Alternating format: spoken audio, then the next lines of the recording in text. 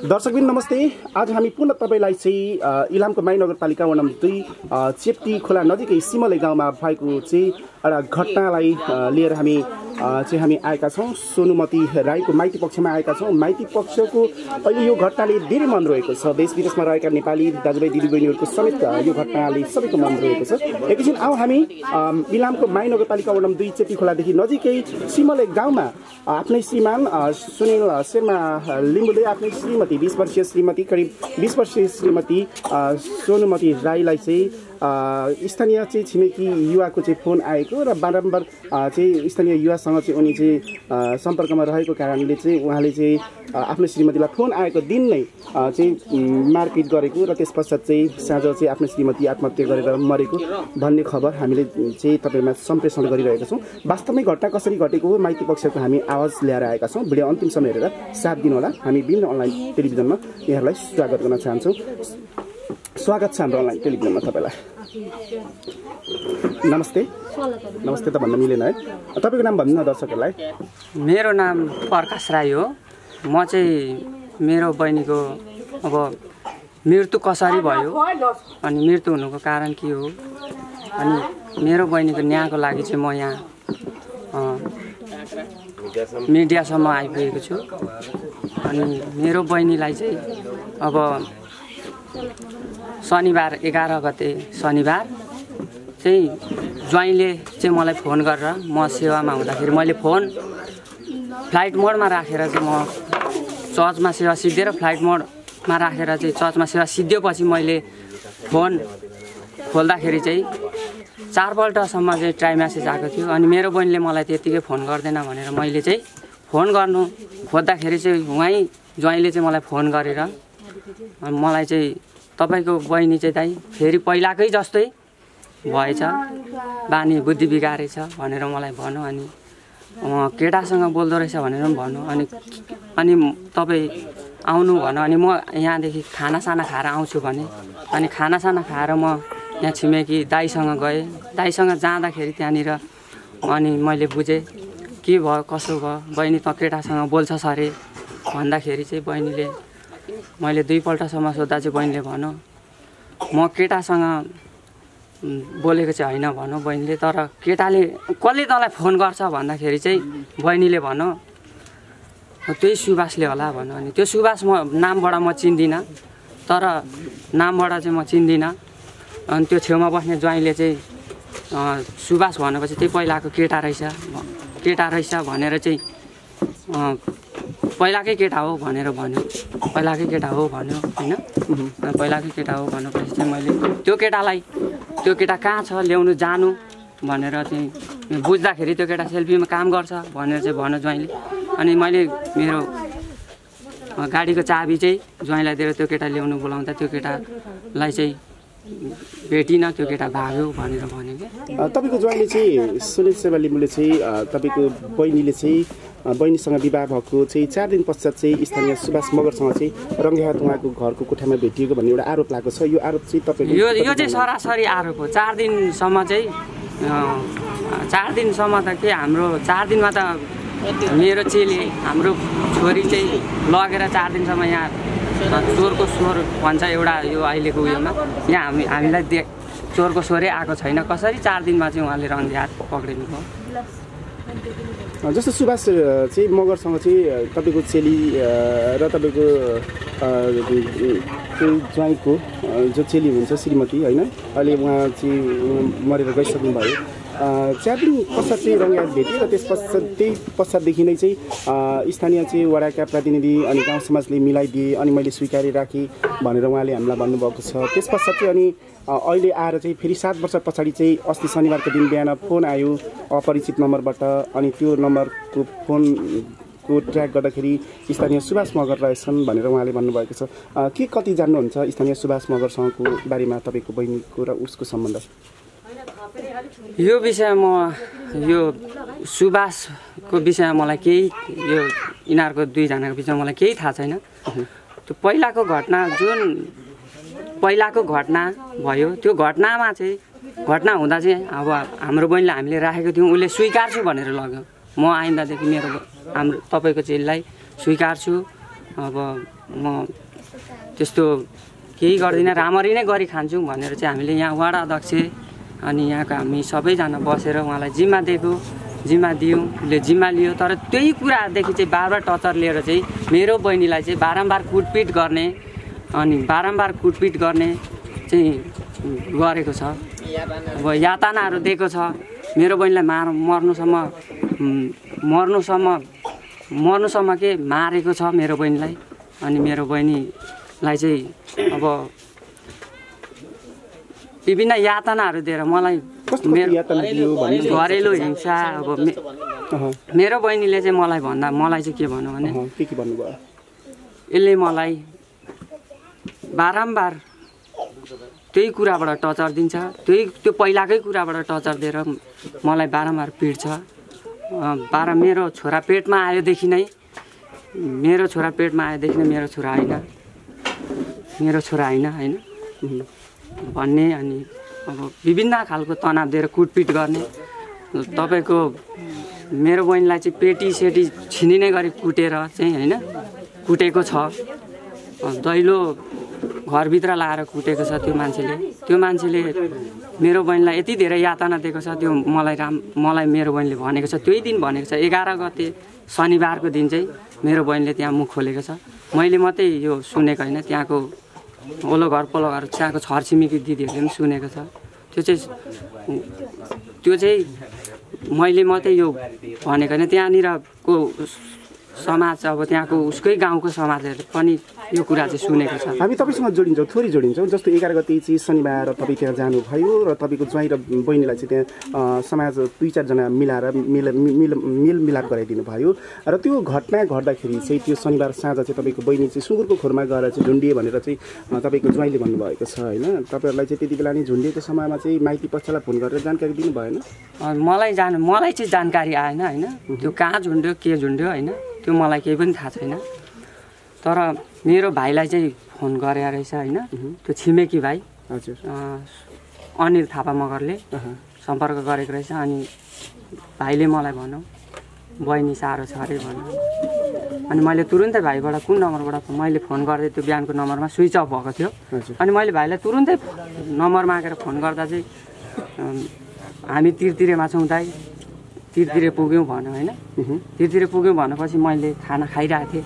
मैले खाना खा खा खाना खा खाँदै थिएँ। खाना खाँदै मैले तिरतिरमा छु भन्नु बित्तिकै मैले खाना छोडिराखेर मेरो भाइलाई हिँड भनेर मैले बाइकमा मेरो आफ्नै बाइकमा लगाएर मैले फलो गर्दाखेरि फलो गर्दै गएँ। मैले शुक्रबारेसम्म जाँदा पनि मैले भेटिनँ। नभेटेपछि शुक्रबारे पुगेपछि मैले फोन फोन गरेँ फोन लागेन। अब त्यो जङ्गलको या बाटो त्यस्तै होला। अब अब नलागेपछि अलिक त्यस्तै पन्ध्र बिस मिनट पछाडि चाहिँ फोन फेरि फोन गर्दा चाहिँ हामी खुद्नाबारी पुग्यौँ भनेर चाहिँ भनौँ होइन? खुद्नाबारी पुग्यौँ भनेर भनौँ। अनि हामी म फेरि खुद्नाबारी पुग्दा पुगेर फोन गर्दा चाहिँ हामी जुके खाडीमा छौँ गाडी फसेर जुके खाडीमा छौँ भन्यो अनि त्यसो भए त्यसो भए हामी कहाँ बस्नु त? भन्दाखेरि तपाईँहरू संसारी चोकमा बस्नु भन्यो। अनि म संसारी चोकमा बस्नु भनेपछि म गएँ खुद्नाबारीबाट होइन? खुद्नाबारीबाट गएँ तर म संसारी चोकमा बसिनँ अलिक वरो पेट्रोल पम्प भने अब चोक जस्तो ठाउँमा मलाई अलिकति अप्ठ्यारो अलिकति बस्न मन लागेन किनभने चोक चोक जस्तो ठाउँमा राति हुँदी। म चोकमा बस्नुभन्दा बरु अलिक ओरे त्यो petrol pump Sansari petrol pump अलिक मासतिरै बसेँ। पन्ध्र बिस मिनट जति बसेँ। पन्ध्र बिस मिनट बस्दाखेरि मैले फोन गरि नै राखेँ। फोन गरेँ गाडी निस्किएको छैन गाडी निस्किएकै छैन भनौँ। अनि अब मैले अनि त्यहाँनिर बाटोमा हिँड्ने बाइकहरूलाई रोकेर सोधेँ यहाँदेखि जुगे खाडी जाने बाटो कतै छ भने देखाइदिनु भने होइन उहाँहरूले त्यो बाटोमा उनीहरूले भनौँ यहाँदेखि कहीँ छैन माथि संसार ए, खुद्नाबारी नै घुमेर जानुपर्छ भनौँ। अब खुद्नाबारी नै भयो भने घुमेर म जानु पऱ्यो भने त्यो ठाउँमा होइन। तर त्यो ठाउँमा जानुभन्दा पहिला मैले फेरि एकचोटि फोन त गर्छु भने एकचोटि फोन गर्दाखेरि गाडी निस्क्यो भन्यो होइन अनि गाडी निस्क्यो हामी हिँड्यौँ भन्यो अनि त्यसो भए हामी कहाँ बसौँ भन्दा फे कहाँ बस्छौँ भन्दा त्यहीँ बस्नु भन्यो अब संसारीमा चोकमा होइन। अनि संसारीमा पुगेर अलिक उँभै थियौँ अनि त्यहाँ गएर फोन गर्दा चाहिँ उहाँहरूले एकैचोटि हामी बिएमसी हस्पिटलमा छौँ भन होइन बिएमसी हस्पिटल पुगिसक्यौँ र बिरामी हालिसक्यौँ भन के के थियो अवस्थाहरू के देख्नुभयो तपाईँ त माइती हुनुहुन्छ तपाईँको चेली मैले त्यहाँनिर- के केमा चोटपटक लागेको थियो मैले? त्यहाँनिर अवस्थाहरू अवस्था होइन मैले त्यहाँनिर लास हेर्ने मेरो उयो मैले लास पनि हेरिनँ। मैले भेटिनँ। मैले त्यो हेर्न भेटिनँ पनि। म सिधै गएँ मैले त्यो जुन त्यो ज्वाइँहरूसँग मैले सम्पर्क बोलचाल पनि गरिनँ। मैले सिधै गएँ हस्पिटलमा मैले सोधेँ हस्पिटलमा गएर। हस्पिटलको मान्छे हो या त्यो त मैले अब परिचय लिनँ। सोद्धाखेरि हाम्रो माथिबाट ल्याएको यस्तो यस्तो अब झुन्डेर ल्याएको मान्छे चाहिँ यस्तो यस्तो केसको मान्छे चाहिँ कस्तो छ त भन्दाखेरि उहाँ छैन भने एक छैन नै भनौँ उहाँ मरिसकेको छ अब मरिसकेको छ भनेपछि अब मैले त्यो लास गएर हेरिनँ हेरिनँ पनि र हेर्ने त्यो सुरुमा कतिखेर आलु कहाँ थियो त्यो मैले केही केही पनि मैले होइन त्यो उयो गरिनँ। अनि त्यहाँदेखि मैले म बाहिरै बसेँ। अनि म बाहिरै बसेँ बाहिरै बसेँ अनि त्यहाँदेखि उनीहरूसँग पनि कुरा भएन। अनि धेरै बेर पछाडि चाहिँ मैले यसो सोचेँ अब बहिनी त मरिसकेको छ होइन। बहिनी मरिसकेको छ। मेरो त मरिसकेको रहेछ। भनेपछि म म अब हस्पिटलमा त्यति धेरै बस्न पनि सक्दिनँ। किनभने मेरो पनि आफ्नै समस्याहरू छ होइन? हामी थोरै जोडिन्छ तपाईँसँग बोल्दा बोल्दै भए पनि तपाईँले त फोटोहरू देख्नुभयो होला तपाईँको चेलीको लास देख्न पाउनु भएन हस्पिटलमा होइन? अहिले फोटोहरू देख्नुभयो होला। के केमा छ? अलिकति दर्शकहरूलाई देखाइदिनुहोस् न नोटिस गराइदिनुहोस् न है। के के छ? फोटोमा कस्तो कस्तोमा चोटपटक लागेको छ? तपाईँको ज्वाइँले कस्तो कस्तो चाहिँ शरीरका भागहरूमा कुटेका छन्? शङ्का गर्नुभएको छ तपाईँले। देखाइदिनु। फोटो फोटोमा चाहिँ अब यस्तो छ। हजुर। पुरै अब निलदामहरू छ झापटहरू हानेको हो। अब चिउडाको मुनि मुनि अनि यस्तो गाला हुँदै अनि अब यस्तो यस्तो तिख्रा हुँदै शरीर हुँदै पुरै डामे डाम छ होइन। यहाँ धेरैवटा फोटोहरू छ होइन। धेरैवटा फोटो छ म फोटोहरू देखाउँछु।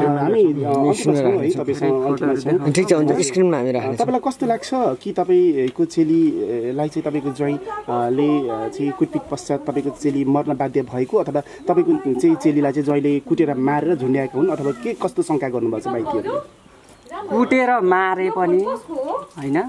कुटेर नमारे पनि मर्न बाध्य बनाउने त्यही मान्छे हो। त्यो मान्छेलाई होइन हामी म कुनै पनि हालतमा छोड्दिनँ। त्यही मान्छे हो। त्यो मान्छे मै त्यही मान्छेले गर्दाखेरि मेरो बहिनीको मृत्यु भएको हो जस्तो तपाईँले प्रहरीमा उजुरी पनि हाल्नु भएको छ होइन? के सम्बन्धी हाल्नु भएको छ? यो थोरै जानकारी गराइदिनुहोस्। प्रहरीमा माथि माथि जिल्लामा चाहिँ हामीले यो अहिले आत्मा- यो दुर्सन मुद्दा चलाएको छौँ किनभने हिंसा हिंसात्मक घरेलु हिंसा होइन? बारम्बार अब कुटपिटको कारणले चाहिँ यो आत्महत्या गर्न बाध्य। बाध्य बाध्य सुसाइड गर्न बाध्य बनाएको हो। बनाएको हो। किनभने मलाई सबै कुरा मेरो बहिनीले भनेको छ। त्यो त्यही दिन शनिबारै भनेको छ बहिनीले। मैले मात्रै सुनेको छुइनँ यो कुरा। उहाँको उतैको पक्षको मान्छेहरूले पनि सुनेको छ। कस्तो कस्तो यातनाहरू दिएको छ भने। मैले मूर्ख सोच्नु भने त्यतिखेरै पनि होइन म केही गर्थेँ तर म त्यस्तो मूर्ख मलाई सोच्न आउँदैन। र मलाई त्यस्तो मूर्ख देखाउन पनि आउँदैन। किनभने अब यत्रो मिडिया छ। हामी तपाईँसँगै जोडिन्छौँ। तपाईँको चाहिँ भान्जाले चाहिँ आफ्नो आमालाई चाहिँ तपाईँको बहिनीलाई कुट्दै गरेको दृश्य पनि देख्यो अरे सानो बाबुले। त्यो कुरा पनि उठेको छ। भनिदिनु न कतिसम्मको दृश्य देखेछन् सानो बाबुले? यो सानो बाबुले देखेको दृश्य र सानो बाबुलाई सोधेको विषयमा चाहिँ मेरो भान्जालाई सोधेको विषयमा चाहिँ हाम्रो बहिनी यो विषयमा चाहिँ किनभने मैले मेरो बहिनीलाई सो भान्जालाई सोधिराख्ने मेरो मौका पनि भएन। म र मैले यो सोध्ने समय पनि पाएको पनि छैन मैले सोधिनँ पनि। अन्त्यमा आफ्नो किनभने म- आफ्नो आफ्नो विचार राखिदिनु अन्त्यमा आफ्नो चाहिँ होइन तपाईँलाई घटना घटे- भएको छ। अलिकति तपाईँको चाहिँ यो विषयमा पछिल्लो समय चाहिँ अब मिडियामै कुराकानी आउँदाखेरि पनि चरित्र हत्या गर्ने जो मान्छे मरिसकेपछि अहिले विभिन्न कुराहरू आइरहेको छ नि यो विषयमा के भन्न चाहनुहुन्छ? अब यो मान्छे मरिसकेको छ भन्नाले मैले अलिक बुझिनँ क्या। तपाईँको बहिनी मरिसकेपछि पनि तपाईँको बहिनीको चाहिँ चरित्र हत्या गर्ने काम गरेको छ तपाईँको। होइन? रङ्गे हात भेटेको कहाँ कहाँ भेटेको कहाँ कहाँ के गरेको भनेर चाहिँ यो यो यो। चाहिँ सरासर यो रङ्गे हात भेटेको भन्नु चाहिँ गल्ती हो। अनि यो जुन यो टिभी हेर्नु गएको यो आउँदैन फर्केर डान्स हेर्नु गएको भन्ने छ नि यो कुराहरू पनि झुटो हो। किनभने म त्यहाँ गएको थिएँ त्यहाँनिर त्यो कुराहरू निस्केकै छैन। निस्किएकै छैन। किनभने म तुरुन्तै गएको छु नि त। शनिबार गएको छु। त्यो अवस्थामा यो डान्समा हेरेर आउने कुराहरू निस्किएको छैन। यो डान्स डान्स हेरेर आउने कुराहरू निस्केकै छैन। टिभी हेर्नु गएको छ। मलाई सिर्फ यति मलाई फोनमा यति मात्रै भनेको छ। मेरो त्यो उहाँ ज्वाइँले चाहिँ। तपाईँको बहिनी अर्को केटासँग बोल्दो रहेछ। होइन? अनि टिभी हेरेर दस एघार बजीसम्म आउँदैन। भनेपछि चाहिँ अनि मैले भने म खाना खाएर आउँछु। छिटो आउनु भने म खाना खाएर आउँछु। म खाना खाएर आउँछु भनेर म जाँदाखेरि चाहिँ यो यो डान्स हेरेर आउने अनि यो चा के अरे यो चार दिन कति कति चार दिन दिनमा रङ्गे हात भेटेको। चार दिनमा यो रङ्गे हात भेटेको भन्ने कुराहरू यो यो कति दिनमा चाहिँ भेटेको? अथवा यो के हो यो सत्य हो कि होइन? रङ्गे हात भेटेको यो पहिला? हजुर पहिलाको पहिला चाहिँ यो सत्य हो तर यो यो घटना चाहिँ? चारै दिनमा चाहिँ यहाँ हामीलाई नै चाहिँ त्यो एक खालको यो माइतीमा चाहिँ हामीसँग छ भनेर जानकारी छैन। कसरी चाहिँ चार दिनमा चाहिँ रङ्गे हात भेटेको भनेर हाल्ने? त्यस्तो झुटो। हस् त हामी अहिले झुटो अन्त्यमा छौँ होइन। तपाईँको लागि लागेका केही कुराहरू भन्नु छ भने भन्नुहोस् न अब अब अन्त्यमा अब मलाई चाहिँ म चाहिँ यही भन्छु। मलाई चाहिँ मेरो चेलीको हत्या या हत्या या आत्महत्या हो होइन? गर्न बन्नु गर्नु बाध्य बनाउने यही मान्छे हो। यसलाई म छोड्दिनँ कुनै पनि हालतमा। मेरो बहिनीको लागि म ज्वाइँलाई चाहिँ क- म छोड्दिनँ। किनभने मेरो बहिनीलाई यसले तडपाइ तडपाइ मारेको छ। तडपाइ तडपाइ मारेको छ यसले। म कुनै पनि हालतमा होइन यस्तो उसलाई चाहिँ म कुनै पनि हालतमा छोड्दिनँ किनकि मेरो बहिनी मरेर गए पनि मेरो बहिनीको आत्माको लागि भए पनि म यो मान्छेलाई चाहिँ होइन म छोड्दिनँ। अलिकति हामी सेकेन्ड जोडिन चाहन्छौँ तपाईँसँग। तपाईँको ज्वाइँले त्यसरी चाहिँ आफ्नो बहिनीलाई यातना दिएर कुटपिट गरेर मारपिट गरेर चाहिँ मारेको भन्ने शङ्का गरिराख्नु भएको छ। तर तपाईँको ज्वाइँलाई चाहिँ किन खुलेआम तपाईँहरू चाहिँ छोडिराख्नु भएको छ? खुलेआम छोड्नु काम त्यही हो बोल्दैन सोझोपन देखाउने हामी जाँदा होइन? डिसिजनहरू नदिने। अब जस्तै अब केही कुराहरू अब सोद्धाखेरि होइन माया न्याउरो पर्ने होइन। अब केही कुराहरू कसरी कसरी अब कुनै पनि कुराको प्रश्नको उत्तर नदिने तर बहिनीलाई चाहिँ बार बार टचर दिने बार बार पिट्ने त्यही कुराहरू लिएर क्या अब हामीले त अब के हो यो? किन यसो गर्यो भन्दा पनि नबोल्ने होइन? मुन्टो निहुराउने होइन? सोझोपन देखाउने। भनौँ सोझोपन भन्छ त्यो। एक खालको भित्री चाहिँ नकारात्मक भएको मान्छे हो यो। किनभने खुलाम खुलाम मलाई थाहा छ। म प्रत्यक्ष त्यो त्यो दिन म प्रत्यक्ष त्यहाँ छु। त्योभन्दा अगाडि राम्रै लागेको थियो। त्योभन्दा अगाडि मेरो बहिनीले केही कुराहरू खोलेको थिएन नि त। जब त खोल्यो तब त मैले त्यो त्यो यो मेरो चाहिँ यस्तो रहेछ भनेर मैले सात वर्षको अन्तरालमा त्यहाँभन्दा अगाडि झगडा भएको छैन। त्यो जुन रेडेन भेट्यो भन्ने कुरा। भइरहेको झगडा गरिराख्ने बिच बिचमा मानसिक तनाव दिएर मेरो बहिनीलाई डिप्रेसनसम्म बनाएको छ। यो मान्छेले। डिप्रेसनसम्म बनाएको छ यो मान्छे। यो मान्छेले डिप्रेसन बनायो। हामी हाम्रो सात वर्ष अगाडि भएको थियो त्यो पछि अहिलेसम्म झगडा भएको छैन भन्नुभएको थियो होइन? कहिले पनि झगडा बार बार। म काममा हुन्थेँ उहाँ यतै पसलमा हुनुहुन्थ्यो झगडा हुन झगडा कति भएको कति बार बार कति हो? त्यहाँको स्थानीय छिमेकीलाई पनि थाहा छ यो कुरा। बारम्बार झगडा त त्यहाँ भएको बारम्बार झगडा भएको। तर त्यहाँनिर अब मैले मैले मैले भने पनि यदि मेरो बहिनीलाई मेरो बहिनीलाई यस्तै खालको यातना दि- हुन्छ भने म लिएर पनि जान्छु। हामी छौँ हामी माइती छौँ मेरो पनि बाउआमा छ। होइन? भन्दा पनि डिसिजन नदिने। अनि एक तरिकाले मैले मेरो बहिनीलाई उठाएर ल्याउनु मैले किनकि मेरो पनि एउटा मूर्ख गर्ने बानी छैन होइन? किनभने त्यहाँको समाज पनि थियो त्यो वल्लो घर पल्लो घर त्यत्रो बसिरहेको थियो। तपाईँहरू त्यो दिन समाज बसेर कतिको समूहमा समाज बसेर छलफल गरेर एघार गते चाहिँ बहिनी र ज्वाइँको त्यो त्यहाँ- मेलमिलाप गराइदिनु भएको थियो झगडा? मेलमिलाप भन्नाले मेलमिलाप चाहिँ अब कस्तो तरिकाले भयो भने म थोरै थोरै मेलमिलाप कस्तो तरिकाले भयो भने यता ज्वाइँसँग चाहिँ मेरो त्यति साम्रो राम्रो रिलेसन भएन। अन्तिममा चाहिँ किनकि जब मलाई मेरो बहिनीले उसको पीडाहरूको सुनाउनु थाल्यो नि मलाई यसले यसो गर्नु बाध्य बनायो। मैले जति नै राम्रो तरिकाले बस्दा पनि यसले मलाई बार बार आँखा लाउने त्यही कुराबाट टचर दिने। अनि यसले मलाई मेरो शरीरमा पेटी चुडिने गरी हिर्काउने अनि अब होइन निस्केर जा भन्ने तर नाम नतोक्ने अरे होइन। निस्केर जा त्यहीसँग जा त्यहीसँग जा होइन नाम नतोक्ने त्यहीसँग जा भनेपछि होइन अब बहिनीलाई चाहिँ धेरै पीडाहरू दिएपछि चाहिँ अनि मैले मैले उसको जस्तो सुकै होस् त्यो कुनै पनि कुराहरू त्यो जति मलाई फोन गरेर भनेको थियो नि यसरी बोल्छ यसरी टिभी हेर्नु जान्छ मैले त्यो कुरामा फोकस गरिनँ। किनभने मलाई मेरो बहिनीको माया लाग्यो कि जब खोलेपछि। पीडा त उहाँले मेरो बहिनीले बोकेर बसेको थिएछ नि त खोल्न मात्रै नसकेको रहेछ। अनि त्यहाँदेखि म म मेरो बहिनीतिर आकर्षित भएर मेरो बहिनीसँग म भित्र कोठामा मेरो भान्जा मैले बोकेँ। अनि मेरो भा भान्जा मैले बोकेपछि बहिनी खाटमा अब रुँदै सुतिरहेको थियो रुँदै सुतिरहेको थियो। ढल यसरी अब ढल्किरहेको थियो मैले भान्जा बोकेँ। उनीहरू बाहिर बात गरिरहेको थियो बात गरिरहेको थियो त्यहाँको अ, गाउँलेहरू। पल्लो घर पल्लो घर बात गरिरहेको थियो। मैले त्यो बात गरिरहेको थियो तर पनि त्यता ख्याल गरेन। मेरो बहिनीको मलाई माया लाग्यो त्यो पीडा सुनाएपछि। हामीले केही गर्न नसकेको जस्तो अनुभूति भयो क्या। त्यत्रो त्यत्रो पिड थिएछ होइन? त्यति धेरै यातनाहरू सकेको थिएछ तर पनि एउटा केही कुराहरू खोलेको थिएन। त्यो बेला त्यो दिनभन्दा अगाडि चाहिँ जब त्यो त्यो बेला चाहिँ खोल्यो त्यो बेला चाहिँ अन्तिम स्टेपै थिएछ र खोल्यो होइन? त्यहाँदेखि म मेरो बहिनीतिर आकर्षित भएँ भान्जा खेलाएँ। मेरो बहिनी सुत्यो निदायो होइन। निदाएपछि मैले मेरो भान्जा छोडिराखेँ त्यही कोठामा होइन। सम्हाल्यो अनि सुत्यो अनि त्यहाँदेखि। एकछिन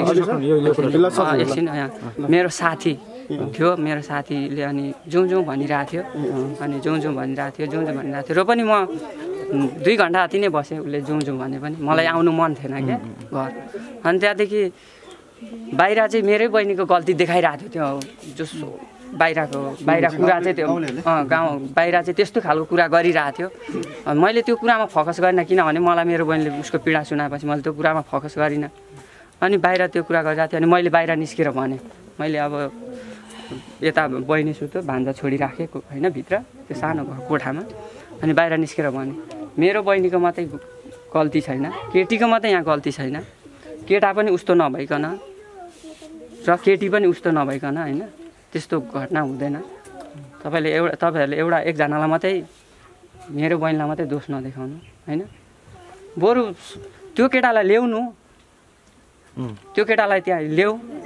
अनि त्यहाँदेखि मलाई खबर गर। म तुरुन्तै आइपुग्छु। मलाई खबर गर म तुरुन्तै आइपुग्छु। भनेर चाहिँ त्यहाँदेखि होइन म त्यहाँदेखि आएँ। अनि मैले लास्टमा के भनिराखेँ भने ज्वाइँलाई पनि थोरै हप्काइराखेँ। आइन्दादेखि मेरो बहिनीलाई हातपात गरेको सुन्यो भने राम्रो हुँदैन होइन? के पर्छ मलाई बोलाउनु? म तुरुन्तै आइपुग्छु तर त्यो केटालाई चाहिँ त्यो केटा ल्याएपछि चाहिँ मलाई खबर गर्नु भने अनि त्यति भनेपछि म साथीसँग आएँ। यति हो कुरा। त्यो। शनिबारको कुरा हजुरलाई धन्यवाद छ समय दिनुभयो।